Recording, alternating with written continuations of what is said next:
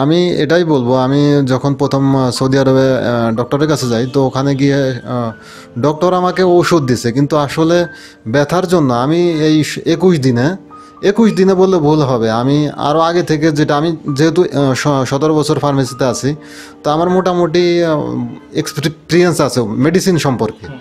তো আমি আসলে যা দেখলাম যে আমিও নিজেও বিক্রি করি পেন কিলার আমিও মানুষকে ওষুধ দিই। কিন্তু আসলে এটা কোনো ট্রিটমেন্ট না। এই মেডিসিন খাওয়া ভালো হওয়া মেডিসিন খাওয়া ভালো হওয়া, এটা কোনো ট্রিটমেন্ট না।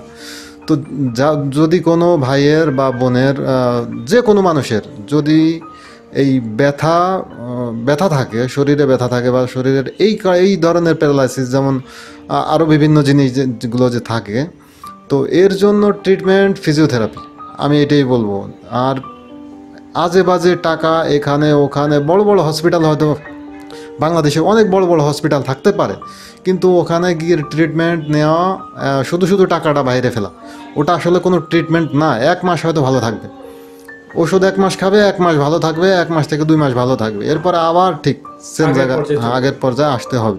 তার কারণ ওটা কোনো ট্রিটমেন্ট না। আমার মনে হয় যে আমি যেটা মনে করি সেটা এই বাদ ব্যথা প্যারালাইসিসের জন্য ফিজিওথেরাপি বেস্ট এর থেকে ভালো আসসালামু আলাইকুম। দর্শক পটলি আশা করি আপনারা সবাই ভালো আছেন এবং সুস্থ আছেন। বিডি টু ডেজের পক্ষ থেকে আপনাদের সকলকে স্বাগতম। আজকের আমাদের নতুন এপিসোড নিয়ে আমাদের আজকের যিনি পেশেন্ট উনি হচ্ছেন চঞ্চল খান। উনি একজন প্রবাসী, আমাদের খুব পরিচিত একটি দেশ, সৌদি আরব। উনি ওখানে বসবাস করেন। আসুন দর্শক আমরা ওনার কাছ থেকে ওনার যে সমস্যাটা ছিল সেই বিষয়টা আজকে আমরা জানি এবং উনি সেখান থেকে কীভাবে উনি পরিত্রাণ পেয়েছেন সেই বিষয়টা আজকে আমরা ওনার কাছ থেকে জানব। আসসালামু আলাইকুম। স্যার আপনার নামটা একটু যদি দর্শকদের উদ্দেশ্যে বলেন। আমার নাম চঞ্চল খান। চঞ্চল খান আপনার বয়স কত?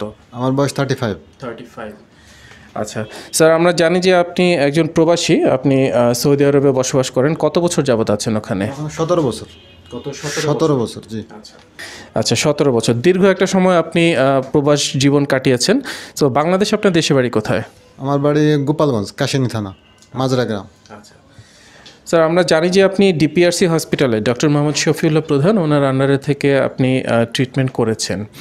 স্যারের কাছে কি সমস্যা নিয়ে আপনি এসেছিলেন সবার প্রথমে আমি আসছি আমার ঘাড় এবং হিপ জয়েন্ট এবং কোমর। আচ্ছা মোটামুটি মেরুদণ্ড বাঁকা হয়ে গেছিল এরকম অবস্থা ছিল।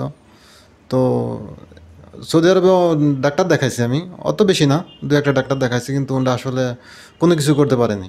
আচ্ছা। তো এক পর্যায়ে আসলো যে আমার বাড়িতেই আসতে হবে দেশে আসতে হবে তো এখানে আর ডাক্তারের ছবি দেখছি আমি সবসময় ভিডিও সবসময় দেখি আমি। আর মানে আমার ভিতরে এমন একটা জিনিস আসলো যে আমি ডক্টর মোহাম্মদ শফিউল্লাহ প্রধান ছাড়া কাউকে দেখাবো না। আচ্ছা এরকম এক একটা ই আসলো যে ওখানে অনেক পেশেন্ট যায় এবং ভালো হয় সুস্থ হয়।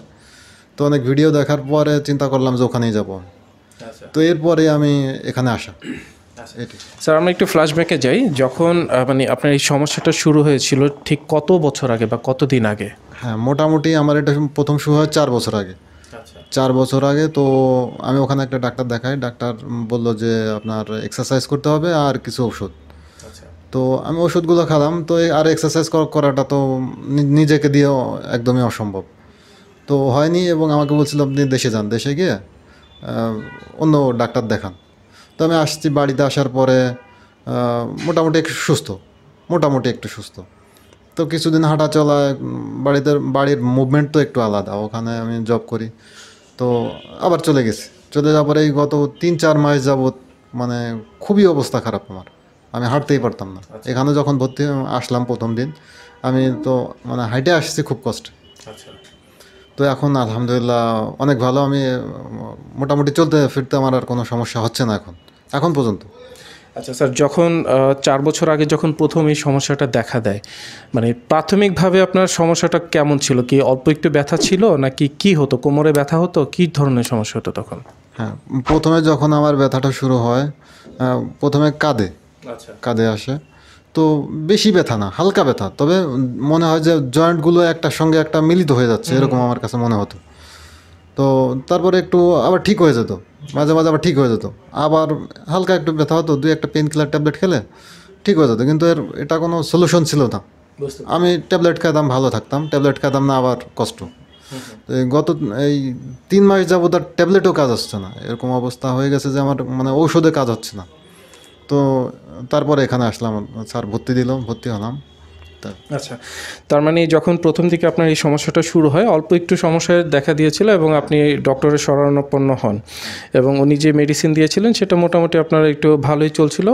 এবং পরবর্তীতে আপনার হচ্ছে যে এই ব্যথাটা আপনার সিভিয়ার পর্যায়ে চলে গেছে। আমরা দেখছি যে আপনার ওয়েটও একটু আপনার আন্ডার ওয়েট আপনার এই সমস্যাটার কারণে কি আপনার ওজনটা অনেকটু কমে গেছে? হ্যাঁ এই সমস্যাটার কারণে তার কারণ আমি আমার যখন এই গত তিন মাস যাবত যখন ব্যথাটা হতো তখন আর আমার মানে খাবার দেখলেই ভালো লাগতো না।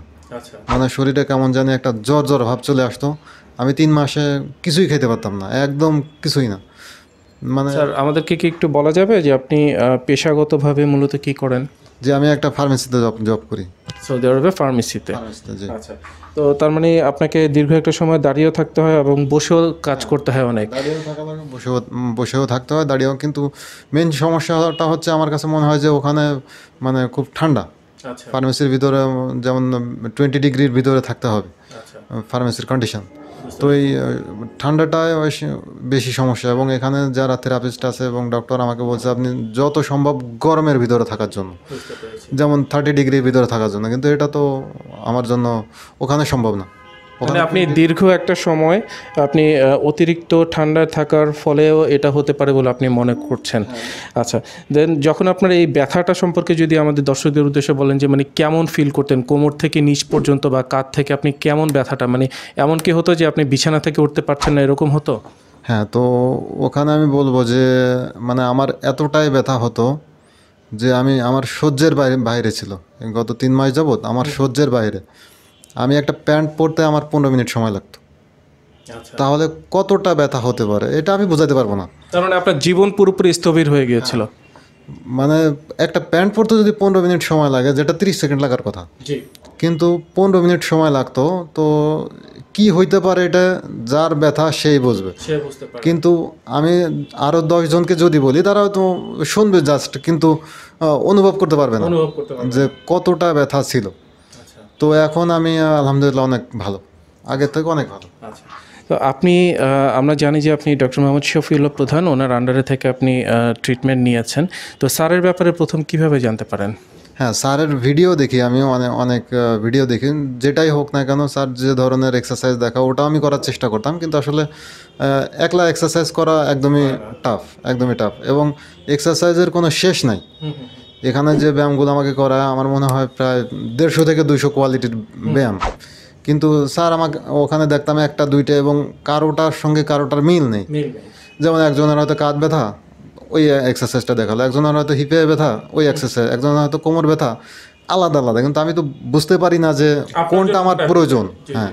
তো এখানে আসার পরে দেখলাম যে যারা থেরাপিস্ট আপনাদের এখানে তো এরা আমাকে বিভিন্নভাবে বিভিন্ন এক্সারসাইজ মানে শেষ নাই।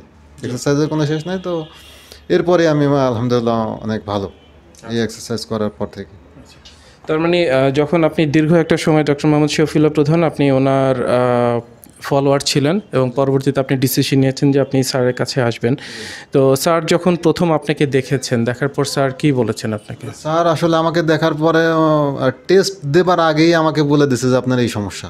আচ্ছা। টেস্ট দেবার আগেই তো তারপরেও আমি বাসায় হ্যাঁ হ্যাঁ। বাসায় গিয়ে বললাম আমার ওয়াইফ বলতেছে যে টেস্ট দেওয়ার আগে কি করে সম্ভব? আমি বললাম হ্যাঁ সম্ভব অবশ্যই স্যার অভিজ্ঞতা? হ্যাঁ বলছে তো দেখা যাক কাল দেখি কোনো ব্যতিক্রম কিছু আসে কি না তো টেস্ট সেম সেম সেম জিনিস। আসছে হ্যাঁ। আচ্ছা পরবর্তীতে আমরা জানি যে আপনি স্যারের আন্ডারে থেকে আপনি ট্রিটমেন্ট গ্রহণ করেছেন। স্যার কতদিন ভর্তি ছিলেন? আমি আজ একুশ দিন। জি। আমি সতেরো দিন আমাকে দিছিল কিন্তু এরপরে আমার একটু মানে ভালোই লাগল। তো আমি নিজের ইচ্ছা আরও তিন চার দিন হ্যাঁ হ্যাঁ বাড়ালাম। আচ্ছা।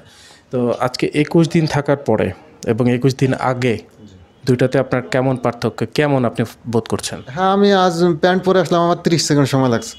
আর আগে পনেরো পনেরো মিনিট লাগতো একটা প্যান্ট পরতে তাও আমার মানে মনে হতো যে আমি প্যান্টটা না পরি। আমি এখানে আসছি ঢাকায়। তো আমি একটা স্যান্ডেল পরে চলে আসছি। আচ্ছা। তো আর তো বলার মতো কোনো কিছু আমি থাকে না। যে আমি কীভাবে আসছি আর এখন কীভাবে যাচ্ছি। আচ্ছা। তো মানে বসতে কষ্ট হতো দাঁড়াইতে কষ্ট হতো হা- হাঁটতে কষ্ট হতো মানে মোটামুটি সব মিলে যথেষ্ট কষ্ট। যার ব্যথাটা আছে সেই বুঝবে ভালো। হ্যাঁ। আচ্ছা আমরা আপনার ডায়াগনোসিসে যেটা দেখতে পাচ্ছি যে আপনার আর্থ্রাইটিস ছিল আপনার বোথ হিপ এবং প্রায় ডিসেবল অবস্থায় আপনি চলে গিয়েছিলেন। তো এই যে যে দীর্ঘ একটা সময়, গত তিন বছর ধরে আপনি এই সমস্যাটা আপনি ভুগেছেন, এই সময়টা আমরা সাধারণত এই ধরনের পেশেন্টদেরকে আমরা দেখি যে, তারা অনেক বিভিন্ন ধরনের মানসিক সমস্যা ওনারা ভুগতে থাকেন, কিছুটা ডিপ্রেশনে ভোগেন এবং কোনো কোনো সময় ওনারা ভাবেন যে, যারা মূলত পরিবারের উপার্জনক্ষম ব্যক্তি তারা অনেকটা ভাবেন যে আমি কি আবার আগের মতো আগের জীবনে ফিরে যেতে পারব কিনা? এই কনফিডেন্সটা অনেকের থাকে না। কারণ একটা সময় যে নিজের প্রতি নিজের একটা অনীহা চলে আসে মানুষের। তো এরকম কি কিছু হয়েছিল? কেমন লেগেছিল তখন? ওই ওই সময়গুলো কেমন কাটিয়েছেন? স্যার আমি হ্যাঁ আমার এরকম হয়েছে। তবে আমি মোটামুটি একটু আশ্বস্ত বোধ করছিলাম যে আমি ডক্টর মোহাম্মদ শফিউল্লাহ প্রধানের কাছে গেলে তো আমার একটা কিছু হবে। মানে আমি একটা হ্যাঁ আমার আশা ছিল। তো আমি যখন ঢাকায় আসলাম আমার ভাইরা যারা আছে এরা বলতেছিল চলো তোমাকে অন্য ডক্টরের কাছে নিয়ে যাই তো ওই পিজিতে নিয়ে যাই এইখানে নিয়ে যাই ওই স্কোয়ারে নিয়ে যাই। তো আমি আসলে কোথাও যাব না। আচ্ছা। আমি চিন্তা করছি যে যে কন্ডিশন আপনাদের এখানে পেশেন্টদের যে কন্ডিশন দেখছি তো সেই হিসাবে আমার অতটা বেশি না। এই জন্য আমি অতটা মানে ভেঙে পড়িনি। জানি যে আমার একটা ব্যবস্থা হবে। এখানে গেলে আমার একটা ব্যবস্থা অবশ্যই হবে। তো স্যার আসলো স্যার বলল যে হ্যাঁ তো আপনি ভর্তি হন আমরা দেখি কতটুকুন করতে পারি। এই আর কি। তো এখানে আমার যে কন্ডিশন ছিল মোটামুটি বেশি। খুব যেহেতু পনেরো মিনিট সময় লাগতো আমার একটা প্যান্ট পরতে তাহলে এটা এত ইজি না। ঠিক আছে? তো এই জন্য আমি আর স্যারের উপর আমার মোটামুটি আস্থা- আস্থা ছিল যে স্যারের কাছে গেলে আমার একটা ব্যবস্থা হবে। আমি ইনশাআল্লাহ আগের জীবনে ফিরে যেতে পারব। আপনার কি মনে হয় যে স্যার তার কথা রেখেছেন? বা আপনার যে বিশ্বাস ছিল সেই বিশ্বাসটা কি পূর্ণ হয়েছে আজ? হ্যাঁ অবশ্যই অবশ্যই। স্যার অনেক ভালো ট্রিটমেন্ট দিয়েছেন এবং আপনাদের এখানে যারা থেরাপিস্ট আছে তাদের অবদান অনেক। হ্যাঁ। ধন্যবাদ আপনাকে। আসলে মানে এই যে যে একটা আজকে যে একটা আনন্দের সময় যে দীর্ঘ একটা গত তিন চার বছর ধরে আপনি কষ্টে ভুগেছেন আপনি বিভিন্ন ডক্টরের কাছে গিয়েছেন কিন্তু আপনার যে কষ্ট সেটা যায়নি এবং পরবর্তীতে আপনি বাংলাদেশে চলে এসেছেন এই সমস্যাটার জন্য। এবং আপনি বিছানা থেকে উঠতে পারতেন না, যেখানে আপনি বলেছেন একটা প্যান্ট পরতে আপনার পনেরো মিনিট সময় লাগে। সেখানে আজকে মাত্র তিরিশ সেকেন্ডে আপনি আপনার প্যান্ট পরে আপনি একটা স্বাভাবিক একটা জীবনে ফিরে আসছেন। এটা অবশ্যই একটা আনন্দের একটা সময়। আপনি আবার হয়তো আপনার সেই পরিবারের কাছে ফিরে যাবেন। আপনার সেই প্রবাস জীবনের যে আপনার যে কর্মক্ষেত্র, সেখানে আবার আপনি ফিরে যাবেন। আবার সেই আগের জীবনটা ফিরে পাচ্ছেন। অবশ্যই অনুভূতিটা অনেক ভালো। স্যার, আপনার কাছে একটু জানতে চাইব যে যতদিন এই ডিপিআরসি হসপিটালে ছিলেন, যেমন আপনি একটা ভালো একটা ট্রিটমেন্ট পেয়েছেন ডক্টর মোহাম্মদ শফিউল্লাহ প্রধান ওনার যে ভিডিওগুলো আপনি দেখেছেন, তো আপনার মতো কিন্তু এরকম আরও অনেক রুগী আছেন, আমাদের আশপাশে হয়তো তারা আছে, তারা হয়তো এই ধরনের সমস্যাটা ভুগছে, তারা হয়তো জানে না কার কাছে গেলে তাদের জন্য ভালো হবে। তাদের জন্য কি আপনি উপদেশমূলকভাবে কিছু বলবেন? অবশ্যই অবশ্যই। আমি এটাই বলব আমি যখন প্রথম সৌদি আরবে ডক্টরের কাছে যাই তো ওখানে গিয়ে ডক্টর আমাকে ওষুধ দিছে কিন্তু আসলে ব্যথার জন্য আমি এই একুশ দিনে একুশ দিনে বললে ভুল হবে। আমি আরও আগে থেকে যেটা আমি যেহেতু সতেরো বছর ফার্মেসিতে আছি তো আমার মোটামুটি এক্সপিরিয়েন্স আছে মেডিসিন সম্পর্কে। তো আমি আসলে যা দেখলাম যে আমিও নিজেও বিক্রি করি পেন কিলার আমিও মানুষকে ওষুধ দিই। কিন্তু আসলে এটা কোনো ট্রিটমেন্ট না। এই মেডিসিন খাওয়া ভালো হওয়া মেডিসিন খাওয়া ভালো হওয়া, এটা কোনো ট্রিটমেন্ট না। তো যা, যদি কোনো ভাইয়ের বা বোনের যে কোনো মানুষের যদি এই ব্যথা ব্যথা থাকে, শরীরে ব্যথা থাকে বা শরীরের এই এই ধরনের প্যারালাইসিস যেমন আরও বিভিন্ন জিনিস যেগুলো যে থাকে, তো এর জন্য ট্রিটমেন্ট ফিজিওথেরাপি আমি এটাই বলব। আর আজে বাজে টাকা এখানে, ওখানে, বড় বড় হসপিটাল হয়তো বাংলাদেশে অনেক বড় বড় হসপিটাল থাকতে পারে। কিন্তু ওখানে গিয়ে ট্রিটমেন্ট নেওয়া শুধু শুধু টাকাটা বাইরে ফেলা। ওটা আসলে কোনো ট্রিটমেন্ট না এক মাস হয়তো ভালো থাকবে। ওষুধ এক মাস খাবে এক মাস ভালো থাকবে এক মাস থেকে দুই মাস ভালো থাকবে। এরপর আবার ঠিক সেম জায়গা আগের পর্যায়ে আসতে হবে। তার কারণ ওটা কোনো ট্রিটমেন্ট না। আমার মনে হয় যে আমি যেটা মনে করি সেটা এই বাত ব্যথা প্যারালাইসিসের জন্য ফিজিওথেরাপি বেস্ট এর থেকে ভালো মেডিসিন আর কোথাও নেই আমার মনে হয়। এ আর কি। ধন্যবাদ আপনাকে, চঞ্চল খান। দর্শক মণ্ডলী, এতক্ষণ আপনারা চঞ্চল খান, ওনার কাছ থেকে আপনারা জানতে পারলেন যে ওনার যে জীবনের যে একটা ইতিহাস, একটা করুণ ইতিহাস ছিল ওনার। উনি একটা ফার্মাসিউটিক্যালসে উনি কাজ করতেন এবং ওনাকে টোয়েন্টি ডিগ্রি সেলসিয়াসে ওনাকে কাজ করতে হতো অতিরিক্ত ঠান্ডায়। তো উনি দীর্ঘ একটা সময় ওনার আর্থ্রাইটিস রোগে উনি ভুগেছেন। এবং সেটা একটা সময় এমন সিভিয়ার পর্যায়ে ওনার চলে যায়। জীবন থেকে একরকম উনি ছিটকে পড়েছিলেন এবং পরবর্তীতে উনি ডক্টর মোহাম্মদ শফিউল্লাহ প্রধান, ওনার আন্ডারে থেকে উনি ট্রিটমেন্ট করে মাত্র একুশ দিনে কিন্তু আজকে সম্পূর্ণ সুস্থ এবং ভালো উনি বাড়ি ফিরে যাচ্ছেন। উনি কিন্তু আপনাদের জন্য বেশ কয়েকটা মেসেজ রেখেছেন, আপনারা যদি একটু ভালো করে খেয়াল করেন। যেমন উনি নিজে যেমন একজন ফার্মাসিউটিক্যালসে উনি কাজ করেছেন, ওষুধ সম্পর্কে ওনার ভালো ধারণা আছে, উনি নিজেও ব্যথার ওষুধ বিক্রি করেন। কিন্তু আসলে আমরা অনেকেই দেখা যাচ্ছে যে ব্যথা হলেই আমরা ব্যথার ওষুধ খাই, বিশেষজ্ঞ চিকিৎসকের পরামর্শ ছাড়াই। এবং দীর্ঘদিন এটা কিন্তু আমাদের শরীরের উপরে অনেক বিরূপ প্রতিক্রিয়া তৈরি করে। এবং আপনার জন্য, যেমন উনি আরেকটা জিনিস বলেছেন, উল্লেখ করেছেন যে ইউটিউবে কিন্তু অনেক ধরনের ভিডিও পাওয়া যায়। সেগুলো অবশ্যই সঠিক। কিন্তু আপনার জন্য কোনটা প্রযোজ্য বা কোনটা আপনার জন্য সঠিক? সেইটা জানার জন্য অবশ্যই বিশেষজ্ঞ একজন ডক্টরের সাথে আপনাকে যোগাযোগ করতে হবে। উনি আপনাকে যেভাবে বলবেন, সেভাবে যদি আপনারা ফলো করেন। কারণ একটা ব্যায়াম হয়তো একজনের জন্য ঠিক আছে, সেটা আপনার জন্য ঠিক নাও হতে পারে। সেই জন্য আপনারা অবশ্যই বিশেষজ্ঞ চিকিৎসকের সাথে যোগাযোগ করবেন এবং সেই অনুযায়ী যদি আপনারা আপনারা সঠিক সময়ে আপনারা ট্রিটমেন্ট গ্রহণ করেন, আশা করি আপনারা সবাই ভালো থাকবেন এবং সুস্থ থাকবেন এতে এবং সুস্থ এবং স্বাভাবিক জীবনযাপন করতে পারবেন। সুস্থতা অনেক বড় একটি নিয়ামত আমাদের সকলের জন্য। যিনি অসুস্থ একমাত্র তারাই বুঝতে পারে যে অসুস্থতা আসলে কী জিনিস। ধন্যবাদ আপনাদের সকলকে আমাদের সঙ্গে থাকার জন্য। আপনাকে অসংখ্য ধন্যবাদ আপনার যে মূল্যবান মতামতটা আমাদের দর্শকদের সাথে শেয়ার করার জন্য। এ থেকে ওনারা অবশ্যই অনেক উপকৃত হবেন। আসসালামু আলাইকুম। আপনাকে ধন্যবাদ। ডিপিআরসি হাসপাতাল এবং যত সকল লোক আছে সবাইকে ধন্যবাদ। আসসালামু আলাইকুম।